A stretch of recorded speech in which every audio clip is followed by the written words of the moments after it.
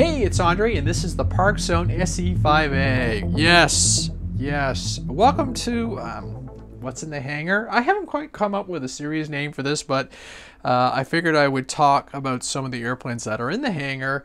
And uh, it's a cold, horrible day, uh, and uh, why not? So, this is my SE5A. I've had this airplane since September of 2017, and I haven't flown it, and that's terrible.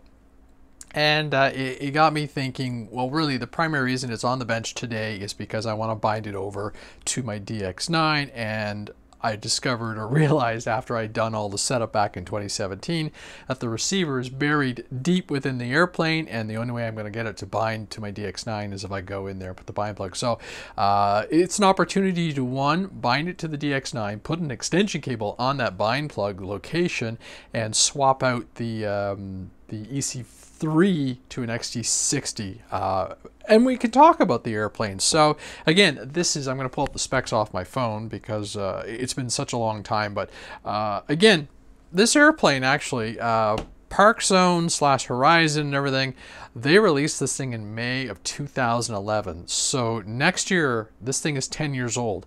I have spares um, like for bits and pieces and everything. a buddy of mine had a hobby shop closing down. He snapped up a bunch of props and everything and, and, and different pieces of equipment.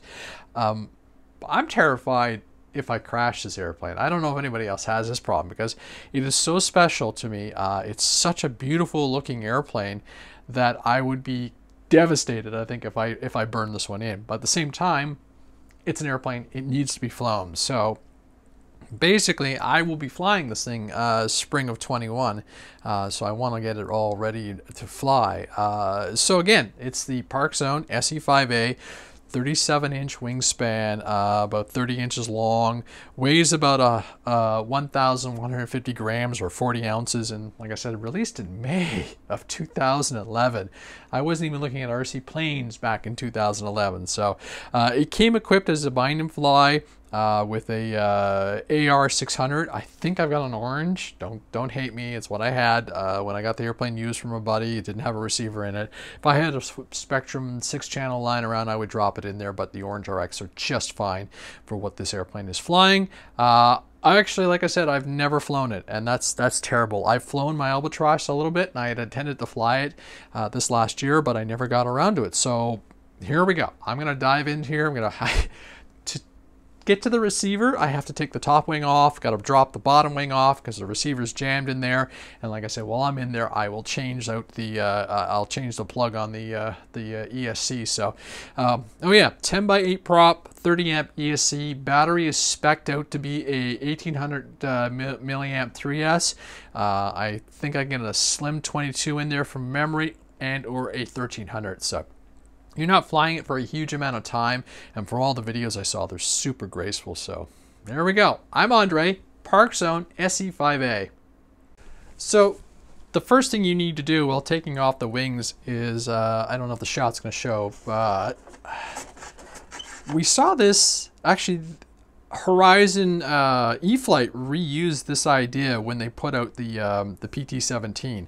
Uh, and so it's just little top pins and that's how you get your, your wings off. So construction wise, I mean, I see, uh, I've actually only taken this plane apart once before, and that was when I first got it. Uh, but I see the very similar things where, you know, the poster named everything. So the PT-17 owes a little bit of its uh, heritage to this design. And, and something to note when you're pulling these things apart, the uh, there's different lengths. So that's something to notice when we're reassembling. Careful with that. Don't want to do any unnecessary damage.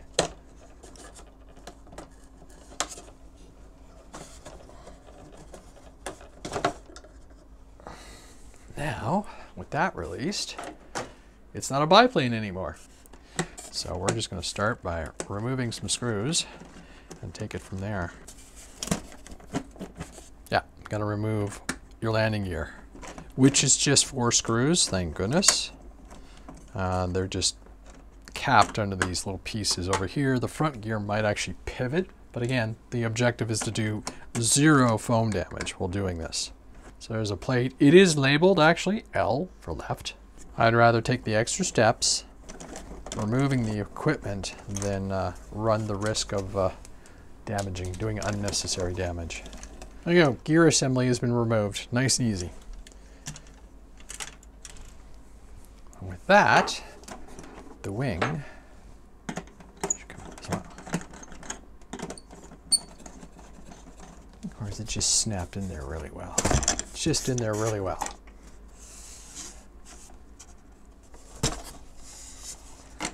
There you go, wing assembly.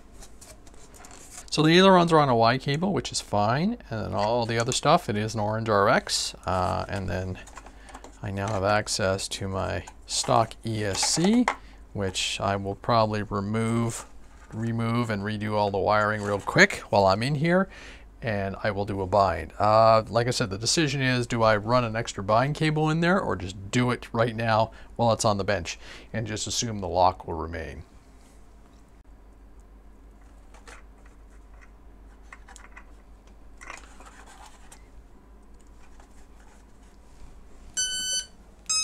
Bind failed.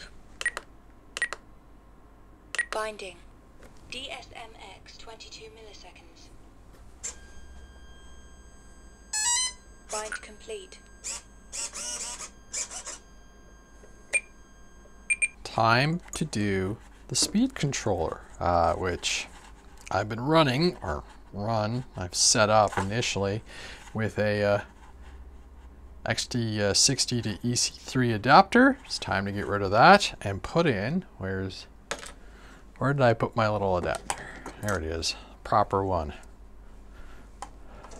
I have uh, no, sorry, I have one EC3 battery in the entire stock, so I don't even save these anymore.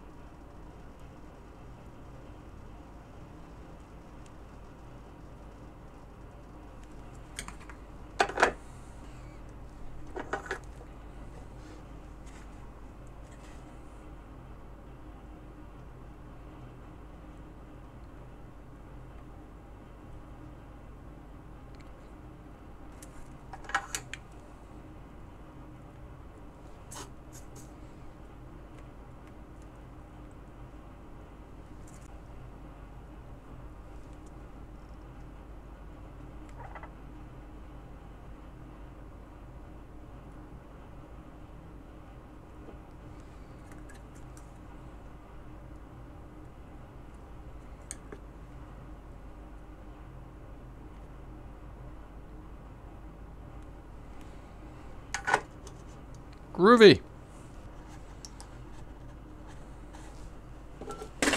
Whoops.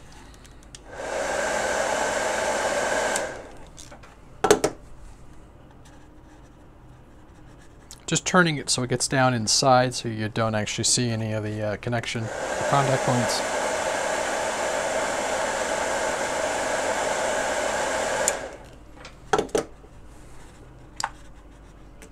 Ta-da! Beautiful. All right, let's reassemble this airplane.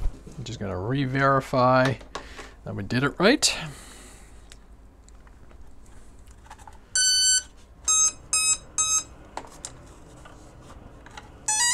Great, and I should have rudder, elevator,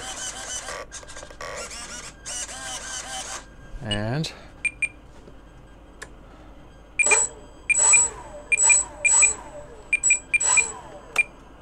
Great! Let's put the wings back on this airplane and be done.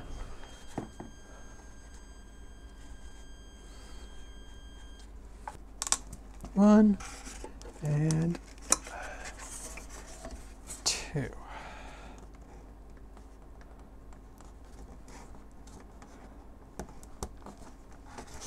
And this time, I'll guide those wires in a little better. I was noticing they had folded and there was probably one that was pinned underneath uh, the tie down point. Okay, you know what? Actually, now that I've got the power, or not sorry, the wing on, I should probably do a quick power test.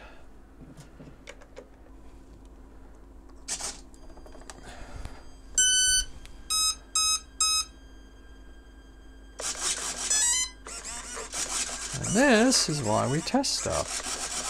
I actually have a dead, an unfunctioning servo. All right, let's change ports just for giggles while we diagnose this problem real quick.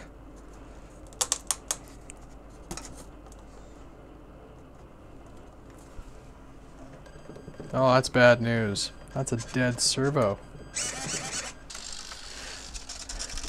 So one of the benefits of actually doing some bench testing and checking your old airplanes is to see if there's any issues. And when I was reassembling it, the left wing uh, servo was non-responsive.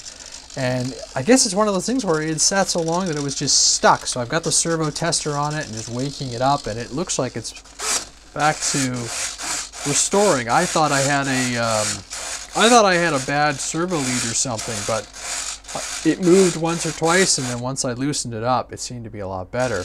Um, definitely something I'm going to have to keep an eye on uh, because ailerons are important, right? So anyhow, it's uh, it's centered up, so I'm going to put it back in there, but it's something I definitely will log and note uh, for future uh, references. And then things like uh, check all your uh, silicon pieces. I just noticed this one. That one's torn as well, or just old and aged out. So uh, it's, again, it's an old plane, so you've got to go through it all. But I'm glad I was able to actually to check that servo, and I'm happy enough with its operation. I think it'll be fine. It's just one of those things where it had been stuck for such a long time. So good excuse to take the airplanes out and uh, you know exercise some of those electrical components that could um, you know lock up over time. So, all right, back to the reassembly.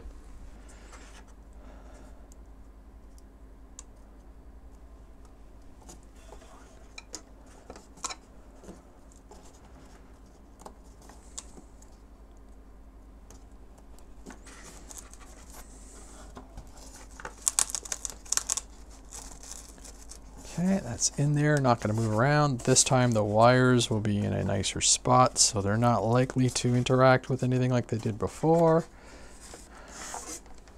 Okay. Good, dump it down. All right, radio's on, transmitter's on, battery power, and this time we should see Hooray! Hooray for ailerons!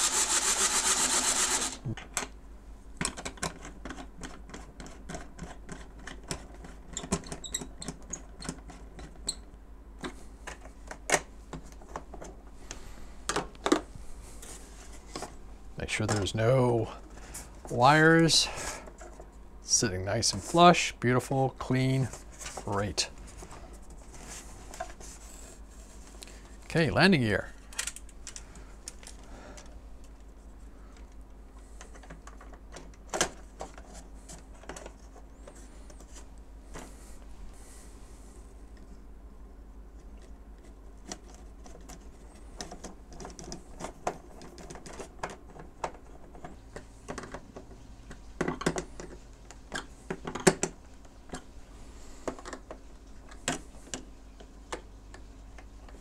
Fun part, reassembling of the wing. So these are like eight points, contact points between the center uh, struts and the backs and the, the outer wing struts. So the shorter ones are in the outer wings.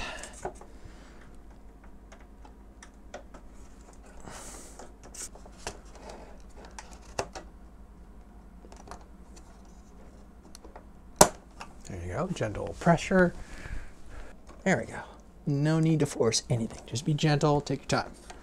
Slide up that silicon piece. There you go. All the way up. Nice. Okay.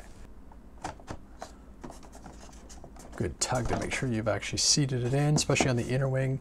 The outer, sort of the, uh, yeah, the outer ones you can tell because it's notched on the outside, where on the inner one, it is notched on the inside.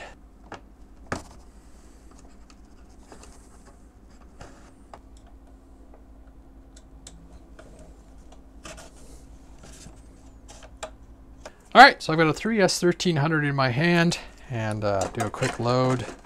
This is the really the only awkward part with a bottom loading kind of airplane is they're cumbersome. Like you're, you're flipping them upside down at the field and everything. So the possibility of damage is exponentially increased as far as I'm concerned, but you gotta do it, right? So I like to take the airplane, hold it upside down like this. And uh, there are a bunch of straps and everything. I think in the Albatross, I got rid of the straps and I just put in Velcro, uh, which I, in my opinion probably just holds the battery a lot better. So, which is probably what I'm end up doing. Just rip that stuff out oh, and uh, go from there. I'm gonna remove that Velcro, those straps, and put in a piece of Velcro right across because those straps are annoying and the battery should in theory stay in, so.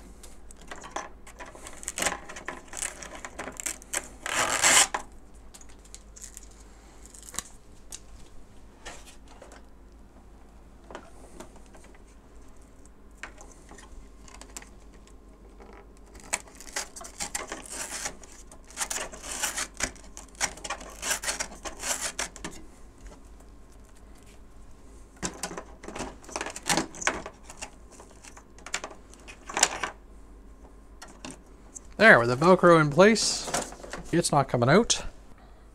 77 millimeters from the top wing off the leading edge is the CG point, and that puts it very nicely. There's a line actually that I will lift up and show. Uh, it's etched into the plane, or the previous owner had already done it, but there you go. So that's my CG point. I'm actually kind of curious with a 3S1300 if I will get my CG. Booyah! That is impressive. All right, so that Velcro versus the tie downs work, and a little 3S1300 means the airplane will fly quite nicely.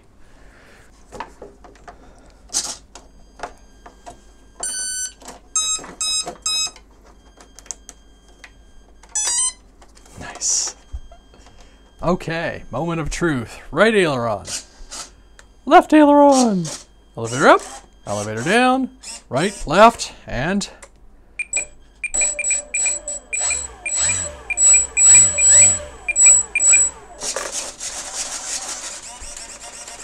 Happy airplane!